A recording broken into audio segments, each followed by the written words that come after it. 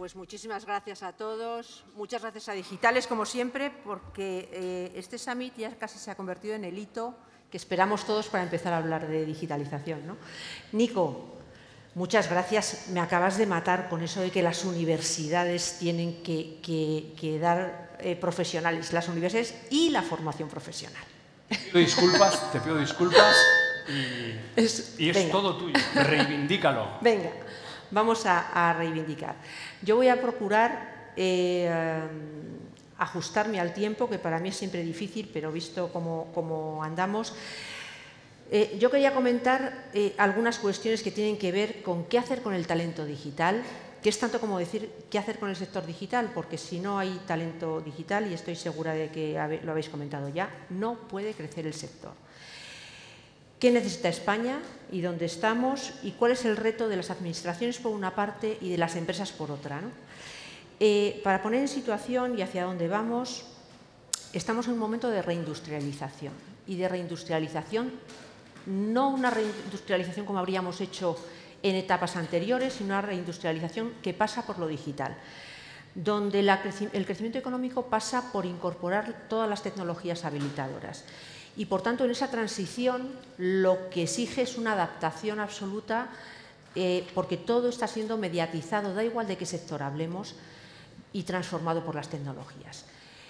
Cuando hablamos de aplicación de cuántica o del mercado global de datos o de inteligencia artificial, que habéis estado hablando antes, eh, tenemos que hablar de cómo trabajar eso en todos los sectores, aplicarlo a todos los sectores y además en medio de una situación de desaceleración de la economía global que conocemos nosotros. Eh, a menudo comentamos que la diferencia entre una persona y otra, entre una empresa y otra, y entre un país y otro, no es realmente disponer de la tecnología, porque las tecnologías están a disposición de prácticamente todo un mundo global. La diferencia es eh, va a estar en los que sepan o no sepan manejarla para generar conocimiento nuevo y para adaptarlo a un cambio de modelo imprescindible, a un cambio de modelo de sociedad, eh, a un cambio de modelo de demanda, de consumo, ya no funcionamos igual, y a un cambio de modelo de organizaciones, de las empresas que si no entienden cómo hemos cambiado y cómo se puede aplicar lo digital, eh, no, no podrán avanzar. Y todo eso pasa por las competencias. Eh, dejadme solamente, como tengo poco tiempo, daros un dato, pero fijaros, solamente parece que mm, vamos avanzando muy rápido y es verdad que el cambio, vamos avanzando, podemos decir que rápido, pero es que el cambio es más rápido aún. Solamente el 12% de las empresas usan inteligencia artificial y esperamos que en un 23% de las empresas lo utilicen en 2027. Es decir, que eh, estamos empezando esa revolución en la que hacen falta tres cosas. La primera es la tecnología, evidentemente, pero si no están las otras dos, que es una estrategia y que son organizaciones y modelos operativos para casos de uso que realmente hagan útiles las estrategias y la, innovación, la tecnología al servicio de lo, que, eh, de lo que deben cambiar las empresas en absolutamente todos los sectores, tenemos un problema. Porque realmente la tecnología, que es ese primer factor del que hablaba, no cambia nada si no hay, lo primero, competencias digitales. Por eso hablamos de que la cuarta revolución industrial es la revolución de la tecnología y las competencias. Pero además de la digitalización. La digitalización no es sinónimo de tecnologías. La digitalización es una cultura y la cultura digital es mucho más porque tiene que transformar un modelo de negocio. No sirve de nada si no cambian las empresas y la forma de hacer de las empresas contar con tecnologías. Y tercero, un propósito. Y el propósito que ahora no tenemos tiempo para entrar en ello, pero que el tema de la entrada de la tecnología y de la cultura digital en las empresas y de cómo hacer que esto avance y genere crecimiento y, por tanto, genere puestos de trabajo, es fundamental el propósito de las empresas porque ahora ya tiene que ver con cómo hemos cambiado el, eh, crear una marca, el crear una reputación de las empresas que va a tener que ver con cómo se posicionan en el mercado. Eh, por tanto, la transformación digital, por, ir eh, cerrando esta idea, no solo implica adoptar unas tecnologías, sino también comprender y aprovechar el potencial. ¿Para qué? Para buscar la eficiencia operativa, para mejorar la toma de decisiones y para generar nuevas oportunidades de negocio. Si nos quedamos solo en la tecnología, no conseguiremos absolutamente nada.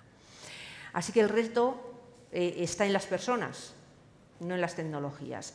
¿Cómo hacer que las personas acepten esas tecnologías, sobre todo cuando esos modelos tecnológicos están reinventándose constantemente y eso implica que la formación no es una formación, me formo en una tecnología, en eh, inteligencia artificial o en, eh, o en, cualquier tecnología emergente y ya está. No, es que hay que estarse eh, formando constantemente.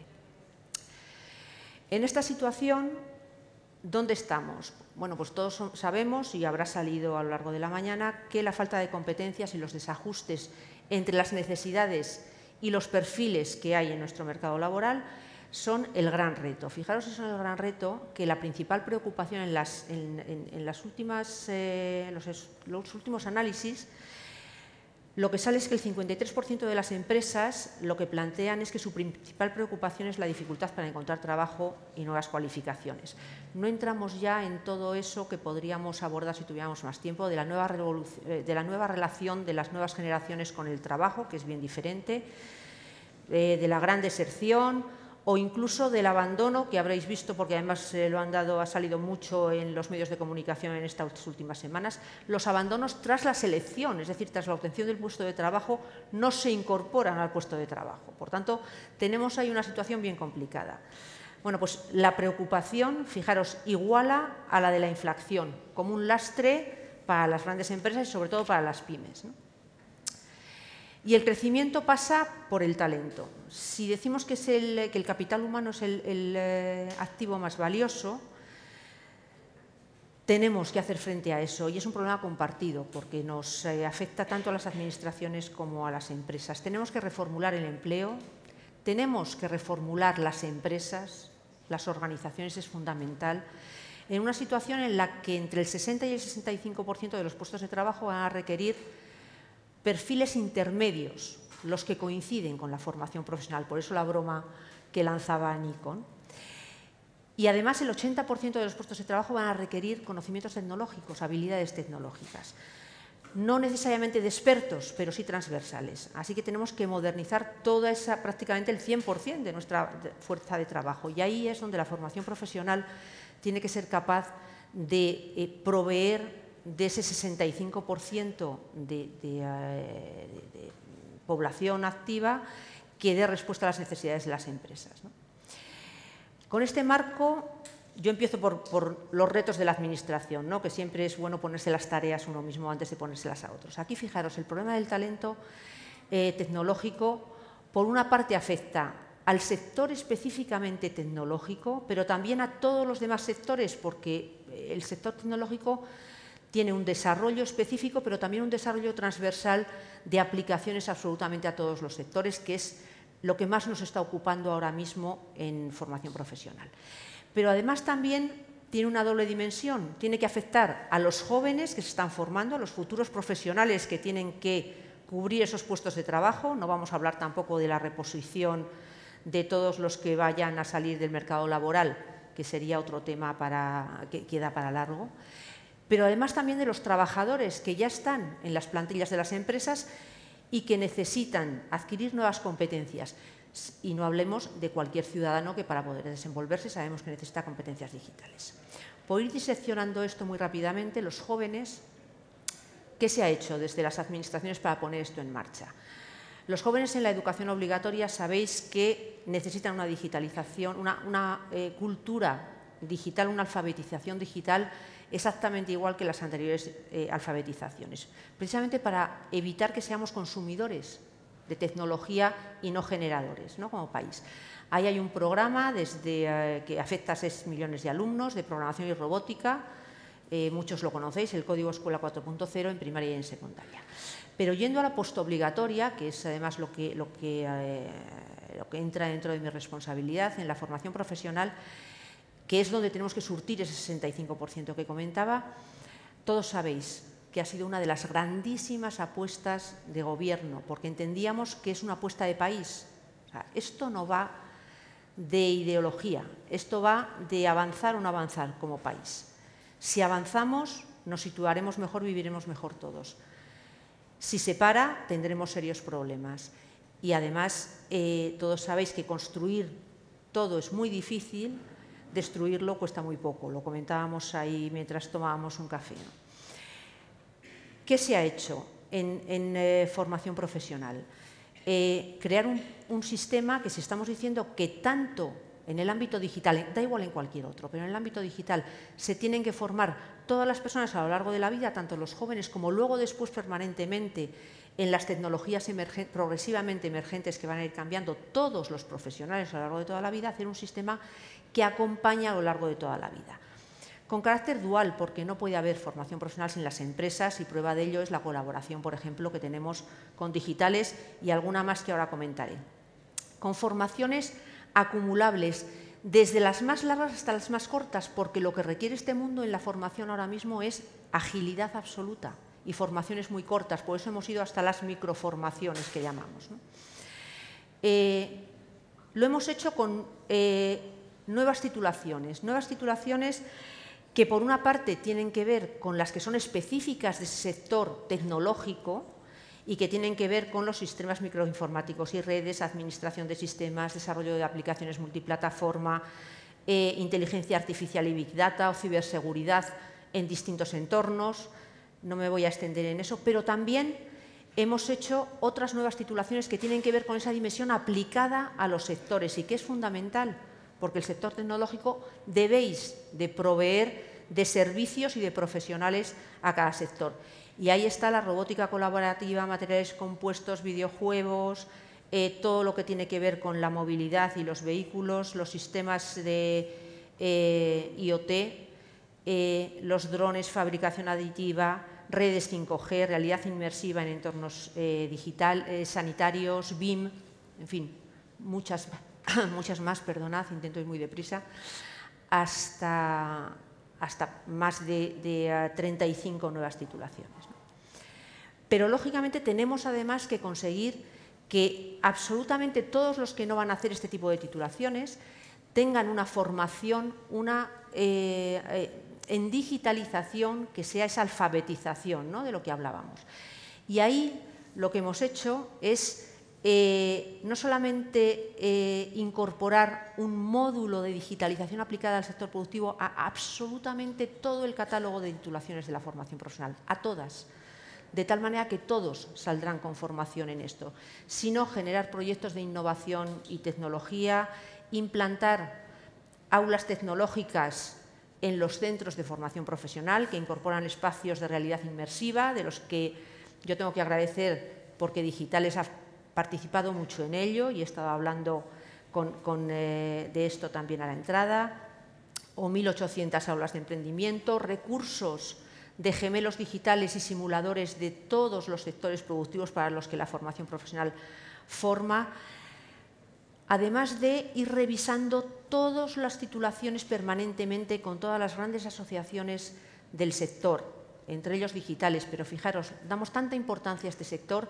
que hemos creado, todos lo conoceréis, hemos firmado, la ministra firmó hace eh, algunas semanas lo que hemos llamado el hub tecnológico con algunas empresas que estoy segura de que os hablarán de ellas, de ello en la mesa redonda porque están por aquí, que eh, estamos analizando la formación viendo cómo encajar como un puzzle eh, las partes de las formaciones de tal manera que se ajusten al milímetro a lo que el mercado necesita y generando formaciones, microformaciones que tienen que ver con aquellas que las grandes empresas tecnológicas ofertan vinculadas a lenguajes específicos y que serán incorporadas al sistema de formación profesional tanto en las microformaciones como en los complementos formativos de los nuevos títulos.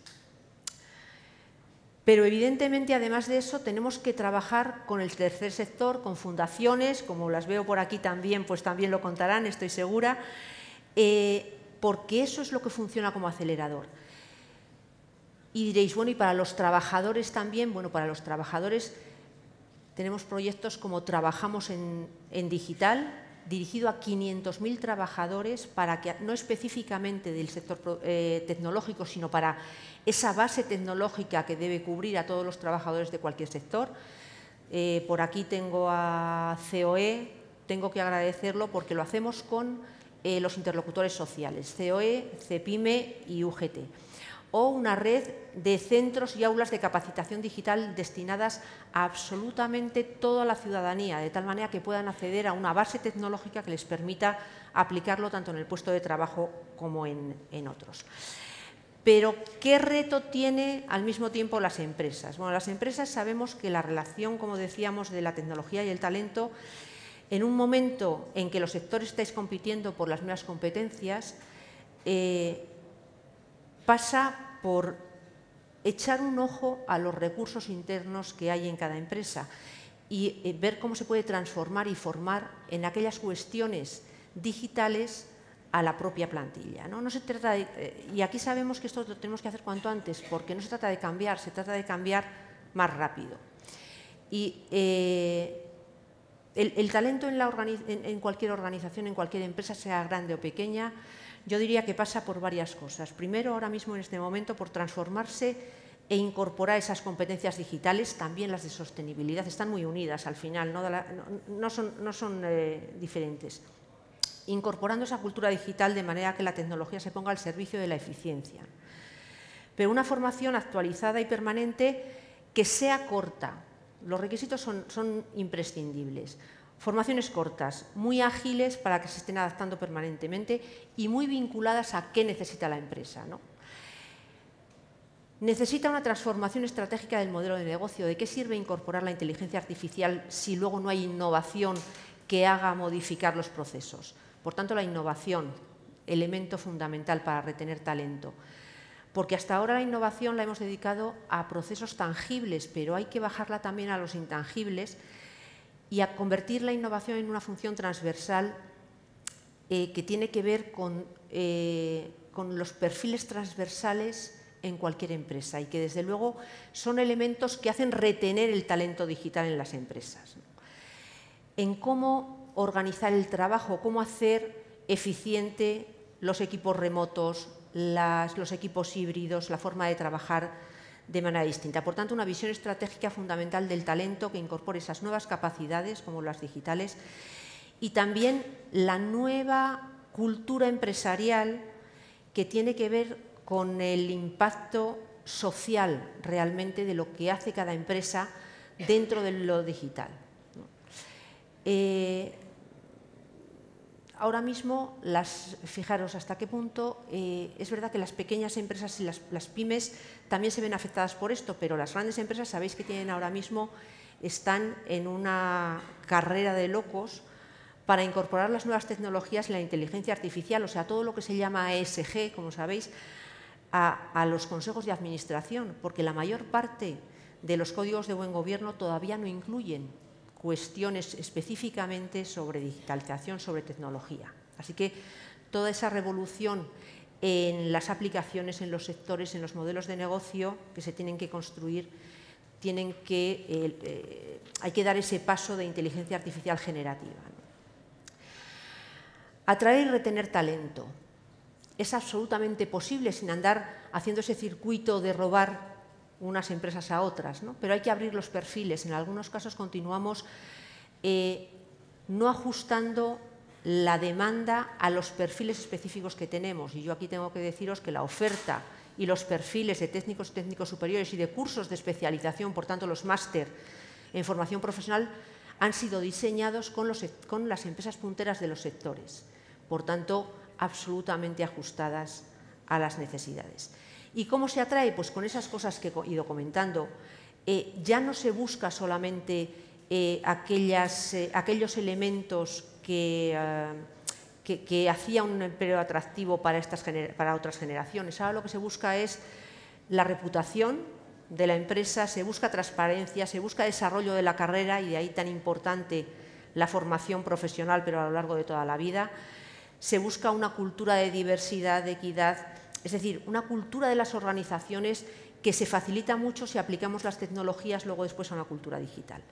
Por tanto, las empresas tienen que entender lo más rápido posible cuáles son los cambios, actuar lo más rápido posible y formar en un proceso permanente tanto a los directivos como a los empleados.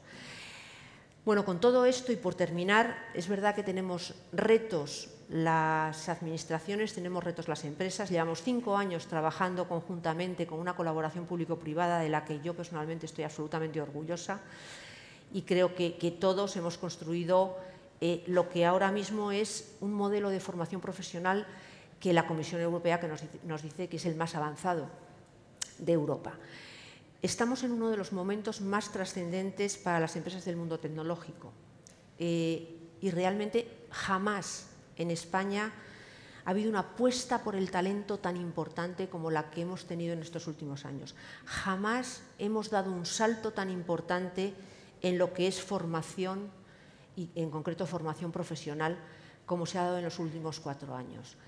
En los últimos cuatro años hemos aumentado en un 23% el número de estudiantes que hacen formación profesional.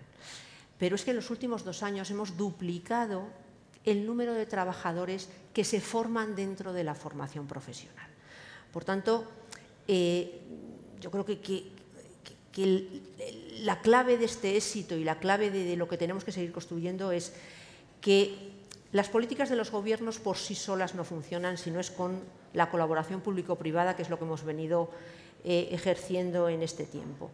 Y contando con la participación de todos los que están en este ecosistema, como decía antes, eh, las fundaciones, todos los que estáis aquí, estoy segura de que estáis en la Alianza por la Formación Profesional, pero desde luego se trata de que la formación, el talento, para lo que sirve al final es para construir reputación, y vuelvo a eso, para construir reputación de las empresas y para construir reputación como país, para poder atraer empresas, atraer talento.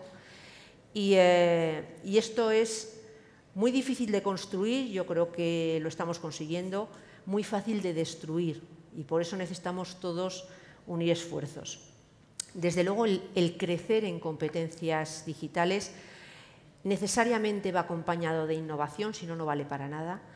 Y eso lo que implica es la creación de nuevos puestos de trabajo y, eh, desde luego, ampliar el crecimiento económico, ampliar las empresas que tienen, estamos en una situación eh, espléndida como país para acoger talento digital y para generar crecimiento en este ámbito y, por tanto, para crear nuevos puestos de trabajo que lo que generan serán bienestar para las personas, para las empresas y para todos. Así que eh, únicamente termino diciendo que, desde luego, la generación de talento pasa por la colaboración y yo creo que la colaboración es lo que ha hecho que en formación profesional y en concreto en formación profesional en el ámbito digital y tecnológico eh, esté teniendo, yo creo que el éxito que está teniendo.